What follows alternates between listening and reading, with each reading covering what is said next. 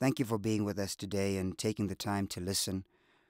I've been dealing with the subject of wisdom, how wisdom can be imparted to an individual through revelation from God, how wisdom can be transmitted from one person to another through the gift of impartation, as we see in Joshua's life with Moses, where Moses laid his hands on him, but also how wisdom can come when we seek God and pray for wisdom. The Bible says in James chapter number 1 and verse 5 says if any man lacks wisdom let him ask of God that gives to all men liberally and upbraideth not and it shall be given unto him. So the very fact that James the leader of the church at that point said you can ask God for wisdom and God will give you he will give you liberally simply means that God wants us to have wisdom. The truth of the matter is that for the many, many areas in life that we experience, uh, we need wisdom. I recall uh, when I was the age of 12, after having a, a fairly traumatic child upbringing uh, through uh, schooling and, and relationships uh, that, that weren't conducive for my nurturing and development. My mama was not a Christian at the time, uh, sat me on the bed uh, and and in this time of tremendous trauma of my life, emotional uh, disorder and, and and mental upheaval, she said to me, "To you to pray for wisdom," and mentioned somebody from the Bible by the name of Solomon. And from the age of twelve, and that's a long time ago in my life, it's close on to uh, 45, 46 years ago, I began to pray to God to give me wisdom and do that religiously every single day. And and then when I became a Christian, I discovered James chapter number 1 verse 5 saying that if any man lacks wisdom, let's ask of God. And the truth of the matter is that we, we lack wisdom in, in the things that we, we are being led to become involved with, or the things we do, or the journeys we embark on. For example, when I left my teenage years and uh, went into the military, uh, I needed wisdom there to, to conduct myself and protect myself. And so I had to pray and ask God to give me wisdom uh, in that field because I was no longer in school. I was now in another experience. And it was during those years that I met my wife, Chichi. Uh, we weren't trained on, on what Christian dating was. And so we had to pray and ask God to give us wisdom in that time of our lives. And then when we got married, nobody taught me what it meant to be a husband. And so it was time to pray for wisdom to be a husband. And trust me, I've been a husband for 33 years and I still don't have the kind of wisdom I need because Chichi's quite a complex being.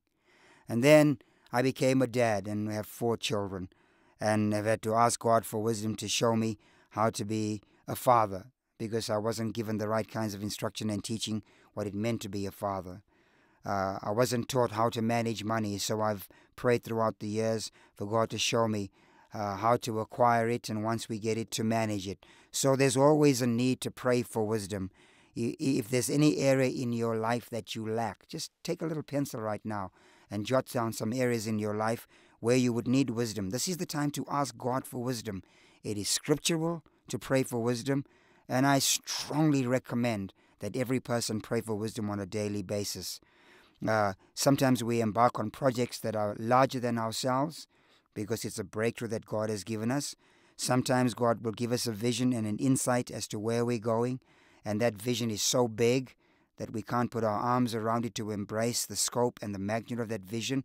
That's the time to pray for wisdom. The book of Proverbs deals with principles of wisdom, and it is Solomon that writes uh, these principles uh, of wisdom and begins to direct younger men. He begins to direct princes. He directs those that are in government. He directs those that have responsibilities into the path of wisdom. Uh, Solomon didn't just decide one day to write the book on wisdom. What happened was in Solomon's life, who incidentally was probably the most ineligible person to be king, uh, based on whom his mother was and based on the affair that his dad David, King David, had had with uh, Bathsheba, it didn't appear that Solomon would be eligible to be king.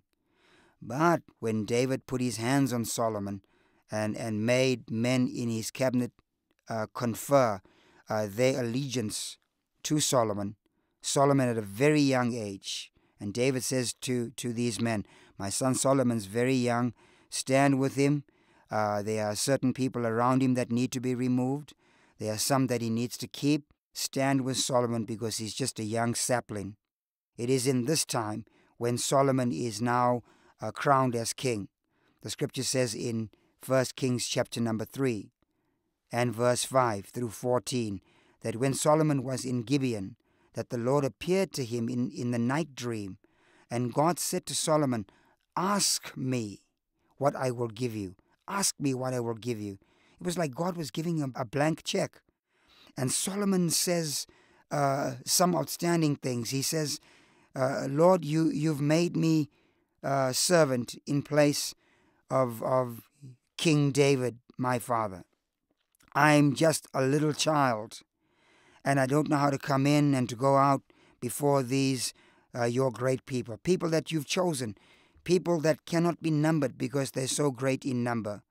And I pray because of that, you would give me an understanding heart. And uh, First Chronicles talks about Solomon asking for uh, not just an understanding heart, but for wisdom. And in First Kings chapter number three and verse ten, the scripture says the speech pleased the Lord, and and and God heard the request of Solomon. And so we come back to James chapter number one verse five. If any man lack wisdom, let him ask of God that gives to all men. And in First Kings chapter number 3 verse 11, God said to Solomon in the dream, because you have not asked for, for long life and you didn't ask for riches and you didn't ask for the life of your enemies, but you asked for wisdom. He said, I'm going to give you all the things above, but most of all, I'm going to give you an understanding and a wise heart, so that the kind of wisdom I'm about to give you, which is a gift, is going to be far uh, past those that have come before you and those that are coming after you. And the principle is here is that if you pray and ask God to give you wisdom, He will give you wisdom. Second Chronicles chapter number one and verse ten says this: Give me now wisdom and knowledge, that I might go in and out before these people.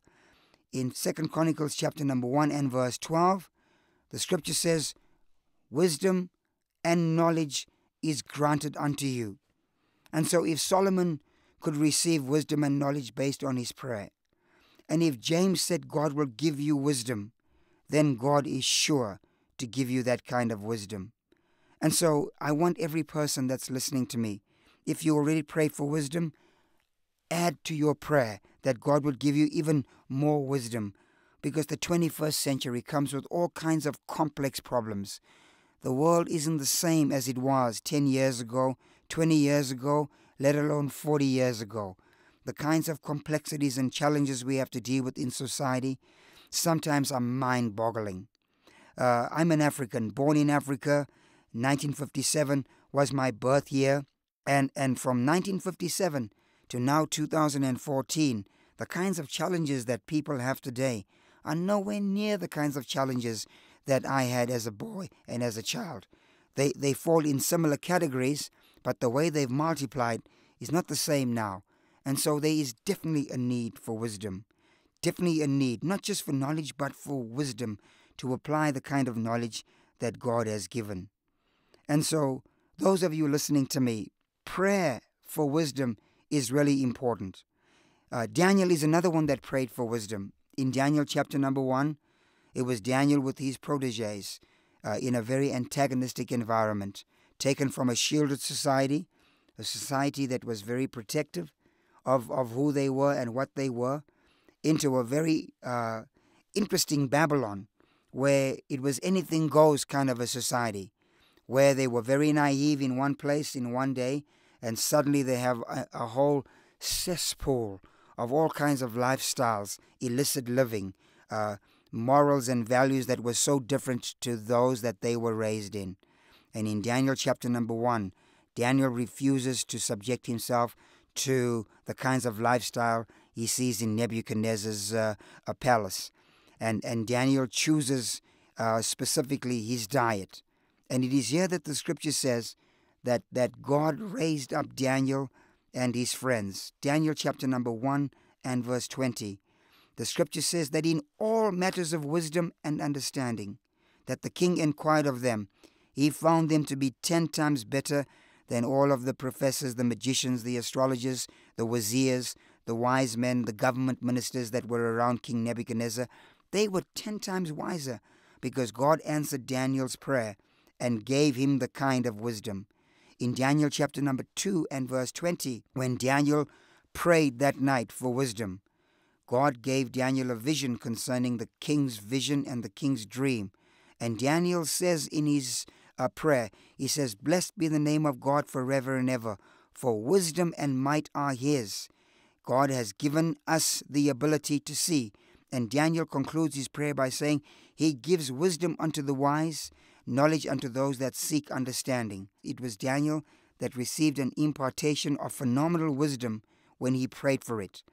In Daniel chapter number 9 and verse 21 and 22, after Daniel prays for the release of uh, the Jews from 70 years of slavery, Daniel is praying now in the 67th year of slavery. And when Daniel prays the prayer, Gabriel the archangel comes to him and says, Daniel, I am now come to you to inform you of God's will. And he says, But I am also come to give you wisdom, and I've come to give you skill to help you in your journey to emancipate and liberate the slaves. So if any man lack wisdom, let him ask of God that gives to all men liberally and upbraideth not. Paul told Timothy, his spiritual son, and Titus, his spiritual son, he told them to seek wisdom and to pray for wisdom, because wisdom is the principal thing. It is highly scriptural and strongly advised that we pray for wisdom. If God would do it for one person, he will definitely do it for the next. I pray for you that God would give you wisdom, wisdom that's beyond that of your years, wisdom that's beyond that of your peers. I pray that God would give you wisdom for every situation you're in, that God would give you wisdom to face every challenge that comes your way, that God would give you wisdom to solve the problems of men and women. God bless you so very much in your quest for wisdom. I'm Bishop Tudor Bismark from Harare, Zimbabwe, pastor of New Life Covenant Church.